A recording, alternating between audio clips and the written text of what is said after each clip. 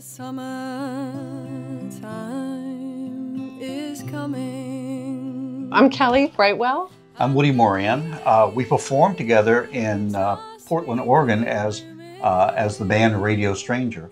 And we kind of grow and ex- and contract depending on the budget and you know The band. and the band. Uh, we became members after entering the contest. Uh, we won. We won the Talent is Timeless contest this year, and um, so that was like end of May, I guess. So that's how how long we've been involved in the community. The, the, actually, the fact that we won has really, uh, I, I think, opened up some doors not only uh, with the community here, but back in Portland, Oregon, right?